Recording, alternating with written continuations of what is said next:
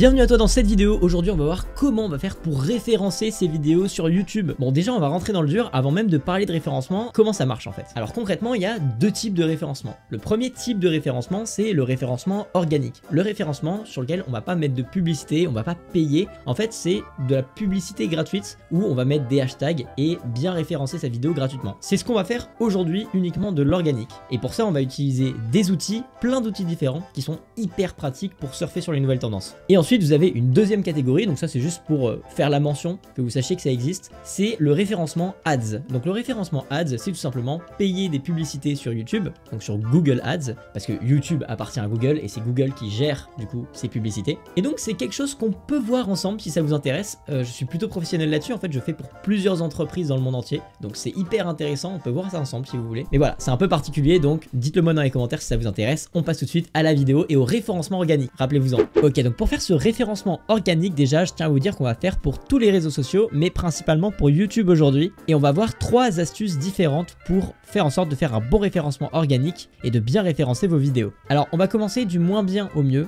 Directement, je commence avec All Hashtags, qui est un site gratuit sur lequel vous pouvez vous rendre et qui va vous permettre directement de trouver un univers vos mots-clés. Alors qu'est-ce que ça veut dire un univers? Quand vous allez dire par exemple le mot shopping, shopping, là je l'écris, je vais faire générer les hashtags. Autour de ça, vous allez avoir un réel univers de mots-clés qui vont être performants. Ici, vous avez encore plus d'hashtags si vous voulez piquer dedans, mais en tout cas, c'est une bonne idée pour vous donner des idées des hashtags. Il faut pas tous les mettre, il faut bien faire en fonction de vous, votre cible, et il faut surtout pas tous les mettre encore une fois, il faut vraiment bien les sélectionner. C'est juste pour vous donner des idées là. Ensuite, le deuxième outil, c'est hyper rapide comme vidéo, vous allez voir, hein, c'est Google Trend.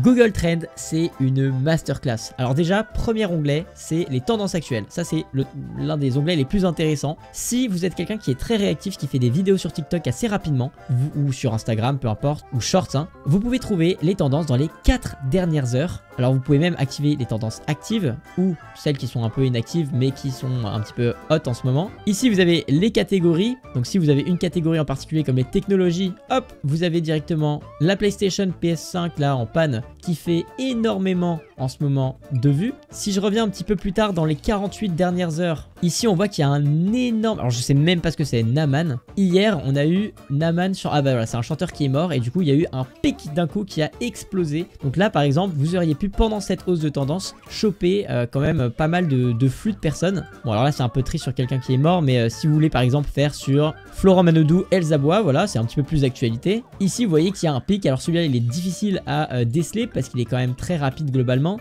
Mais voilà, globalement, vous avez ici plein de tendances. Et on peut aller plus loin. Plus loin pourquoi? Parce que vous avez aussi un onglet Explorer. Alors je précise tout ça, c'est 100% gratuit. Ici, ce qui est génial, c'est que vous allez pouvoir chercher la pertinence de vos hashtags. Si juste avant vous avez trouvé des hashtags sur All Hashtags, vous avez trouvé par exemple le mot shopping, bah vous écrivez hop shopping ici, vous faites chercher, vous allez faire recherche uniquement sur YouTube ou sur le web en entier. Nous on va faire recherche sur YouTube uniquement. On va faire dans les 30 derniers jours et dans les catégories on va laisser comme ça. Là vous voyez un petit peu le volume de recherche. Si je veux faire une comparaison et que je veux mettre le terme solde en mode c'est les soldes, là vous voyez la différence entre la puissance du mot shopping qui est très très supérieure au mot-clé plutôt solde. Donc là vous voyez il y a les deux tendances et c'est marrant on peut observer peut-être une certaine corrélation, bon à vérifier mais il y a un petit mood en tout cas. Et donc là vu qu'on a vu que le mot shopping était plus euh, cherché, on va supprimer ça et on va directement descendre juste ici, voir un petit peu par quelle zone de région on a le plus de demandes. Là typiquement c'est en Lorraine, bon euh, pourquoi je sais pas. En termes de ville ça va être quoi? Donc là ça va être à Mougins, donc à Mougins on va avoir en ce moment plus euh, de demandes de shopping, c'est rigolo dans les 30 derniers jours. Et dans les sujets associés vous pouvez trier ou bien par progression ou bien moi ce que je fais c'est plutôt par les plus populaires ce qui vous permet de voir ici, bon, voilà, les reines du shopping, Algérie, pays d'Afrique du Nord, je vois pas le rapport, mais bon. Et le mieux, c'est les requêtes associées. Moi, c'est ce que j'utilise tout le temps. Je fais les plus populaires. Et si vous voyez que si vous utilisez le mot shopping, et eh ben, n'hésitez pas à mettre le hashtag les reines du shopping. Même si ça n'a aucun rapport avec votre vidéo, mettez-le quand même au hashtag. En progression, Google Shopping, euh, voilà, tout ça, je sais pas ce que c'est. Voilà, et vous pouvez aller plus bas encore, Walmart, etc.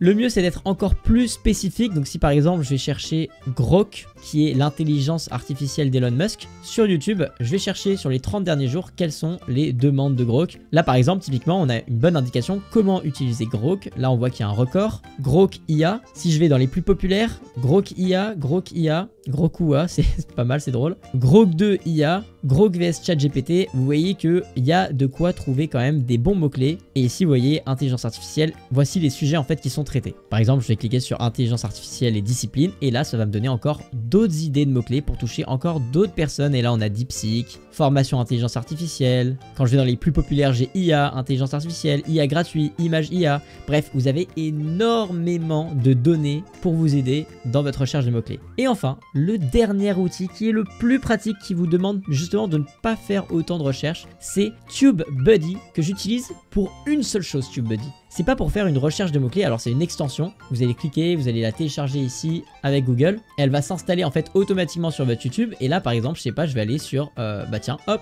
on va aller sur une vidéo de On a reçu le CEO de Mistral. Je vais sur cette vidéo et là ce que je vais pouvoir faire, regardez bien à droite, qu'est-ce qui va apparaître? Toutes les statistiques de référencement. Alors là c'est drôle, le mec n'a pas mis de hashtag, donc on va rien pouvoir piquer en fait de cette vidéo. Là par exemple, si je vais sur une autre vidéo, typiquement Netflix, là on va voir ce que Netflix a mis dans ses hashtags. Là, vous voyez qu'on a plein de hashtags qu'on peut copier et on peut même voir à quel point les mots-clés ont été impactants sur YouTube. Donc on fait Show Ranking et là, vous voyez 7, 7, 2. Donc le mieux, c'est d'avoir le score le plus petit. Donc si vous avez un score de 2, c'est encore mieux que d'avoir un score de 12. En fait, c'est votre place dans l'algorithme. Et donc là, vous pouvez très bien copier, par exemple, des hashtags qui sont pertinents par rapport à euh, ce que vous vous faites. Et vous avez encore autre chose ici dans New Tools, vous pouvez utiliser des outils qui vous permettent d'avoir par exemple, vous voyez, Keyword Explorer, ça veut dire que c'est une recherche de mots-clés. Si par exemple, euh, je veux chercher, bah tiens, shopping, hop, on fait shopping, explorer, et là, on va voir le score. Alors là, le score est mauvais parce que bah, c'est beaucoup trop large, c'est pas assez sectorisé,